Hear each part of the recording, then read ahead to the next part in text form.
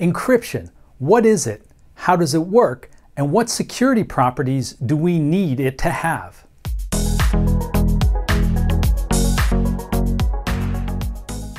We're going to talk about encryption, but before we can, we need to start with some basic terminology. The first term is called the plain text. The plain text is the message. It's the thing that hasn't been encrypted yet. A text message, an email, a video, a picture, whatever. It's the thing that you want to encrypt. The ciphertext. The ciphertext is the encrypted plain text. It's the thing that came out of the encryption function. If your encryption function is designed properly, the ciphertext will look totally random. There'll be no discernible structure, it'll just look like random noise or garbage. Finally, the key. The key is the secret that's going to protect your message. Another important notion is called the plaintext space. It represents the set of all possible plaintexts that the encryption function can accept. Similarly, the ciphertext space represents all the possible ciphertexts that the encryption function can produce. And finally, the key space represents the set of all valid possible keys. Now, encryption typically involves three functions. The first one is called the key generation function. The key generation function accepts a string or a parameter representing the desired length of the key, and it outputs the key itself. Now notice that this is a randomized function. That means that inside of the function there's some kind of random thing happening. So the idea is that if you run the key generation function again and again and again and give it the same input, every time you would expect it to give you a different output. Encryption. This is where the magic happens. The encryption function accepts an element of the plain text space and an element of the key space, and it produces an element of the ciphertext space. And finally, we have decryption. This is the function that's going to undo what the encryption function did. It's going to accept an element of the ciphertext space and an element of the key space, and it's going to give you an element of the plaintext space. Now, there are a few properties that we want our encryption function to offer in order for it to be practical in the real world. First, the encryption, decryption, and key generation functions need to be efficient to produce. It's not going to be useful to us if encrypting an email takes 100 years. Second, we need unique decryption. We need the encryption and decryption functions to be inverses of one another. You should always get back the message that you put in if you give it the right key. Otherwise, what use is it to us if the decryption function doesn't work sometimes? Next, we need it to be confidential. It should be difficult to get any information about the plaintext by looking at the ciphertext. In fact, as we'll see in another video, it should not be possible to get any information out of the ciphertext without knowledge of the key. And finally, it shouldn't be possible to recalculate or recover the key given knowledge of a plaintext and its associated ciphertext. All right, let's talk about classical ciphers. Old school crypto. This is going to give us a nice foundation to think about more modern encryption and the properties that we need.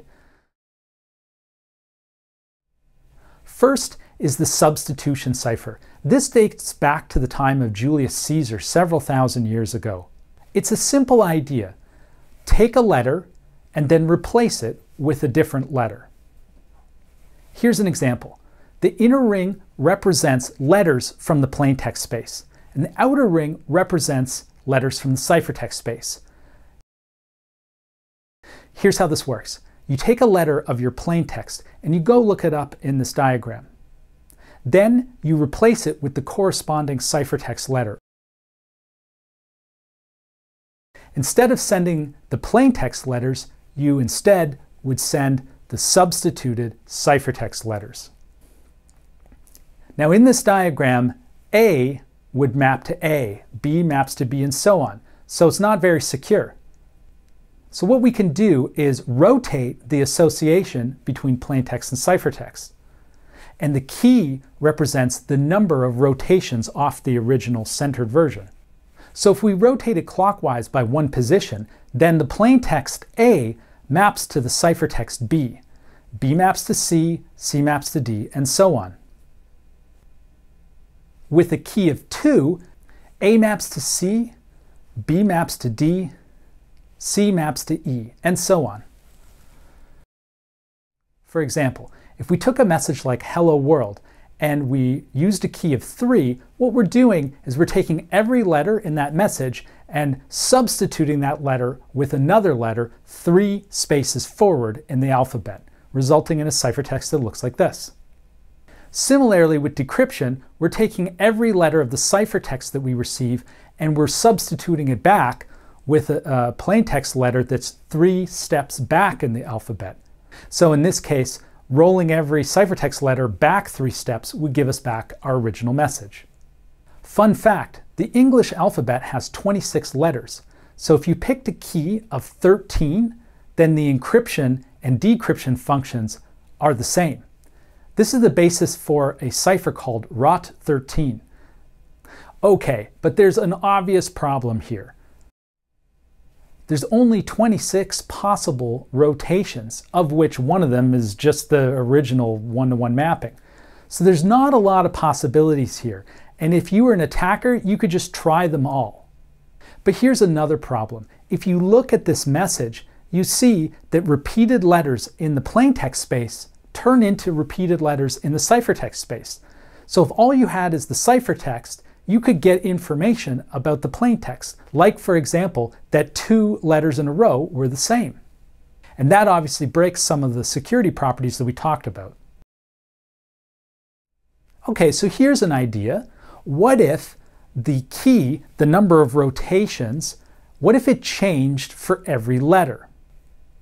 And furthermore, what if we could use letters as the key instead of numbers?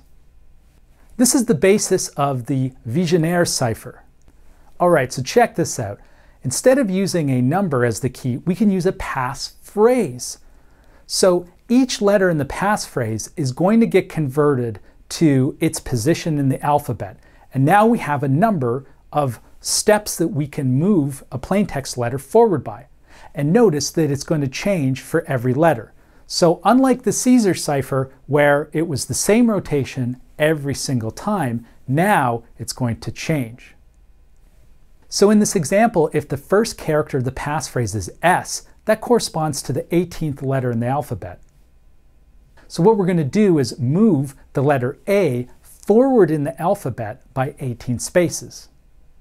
That's going to give us the letter S. Now for the second plaintext character, we're going to use the passphrase letter E instead, and that's going to give us a different rotation amount. So you'll notice that even though the letter C shows up twice in a row in the plaintext, as does the letter S, in the ciphertext, all the characters look different. Okay, so now we've got another problem. What happens if the plaintext is longer than the key? Well, the historical way to deal with this was just to take the key passphrase and just repeat it again and again and again and again, back to back, for the length of your message. In fact, the Confederate Army did this in the Civil War. They used the passphrase complete victory over and over again. Well, you can imagine that the Union spies eventually figured this out and then were able to decrypt all of the messages because the key was being reused. Another issue is that they're using dictionary words. Now, that might have been a problem back in the 19th century where you had to do all of this by candlelight and by hand. But with today's computing power, we can rip through all these possible combinations quite quickly. But it's even worse than that because if we repeat the key again and again, the mapping itself repeats after a time. So if the plain text has some kind of structure that runs throughout a very long message, that structure will start to repeat and show up again as the key repeats. Okay, so what if we designed a cipher where the substitutions changed with every letter, but they didn't repeat? Or at least they didn't repeat for such a long time you didn't have to worry about it. This brings us up to World War II with the Enigma machine. This is a very famous cipher used during the war. It basically looks like a typewriter. The operator would press a key corresponding to a letter in the plain text. This would light up a bulb on top of the Enigma machine, which would correspond to the ciphertext letter. The operator would then write down that letter. Then the operator would press the next key, see the next light, write it down. The operator would then press another key and see the next letter light up and write that down, and so on and so forth until the entire ciphertext message had been created. Now here's the clever engineering of the Enigma machine. Essentially what happens is that every time you press a button, the machine rewires itself to a new mapping. This is accomplished by mechanical gears. The first gear moves forward by one step every time you type a letter.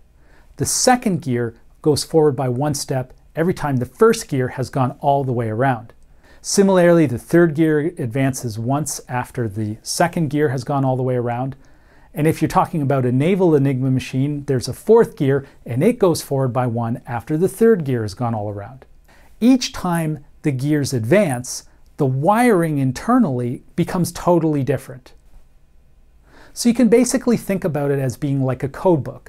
Unlike the Vigenère and Caesar ciphers, it's not just a circular shift, it's some kind of random looking mapping of letters to other letters. And the idea is that the codebook completely changes every time you encrypt a letter. So in this example, when we go to encrypt the first letter, we're going to use the first codebook to tell us what the plaintext letter Y should map to. When we push the letter Y on the Enigma machine typewriter, it would light up the letter V. But when we press the next letter, the gear turns and the internal wiring changes and the codebook for the second letter is completely different. Similarly, when you press the third button, it changes once again, and the codebook once again is different. This actually seemed like a pretty good approach all the way up until the war. However, codebreakers like Alan Turing and the cryptographers at Bletchley Park were able to identify some weaknesses. For example, the way the wiring works is that the letter A, for example, will never encrypt to the letter A. What that means is that when you look at a ciphertext and you see that the first letter is a Q, you know that the plain text could not be a Q. And that gives you a hint, that gives you some information. Now, the code breakers at Bletchley Park were able to use little flaws like this to recover a great many messages sent by the German army during the war. There are many other examples of ciphers throughout history. But these are three interesting ones showing a natural progression. Now these ciphers are not secure by today's standards, so in the next video we're going to use that fact to help us build a formal model of security. So check out that next video, and if you like this video, hit like and subscribe. See you next time.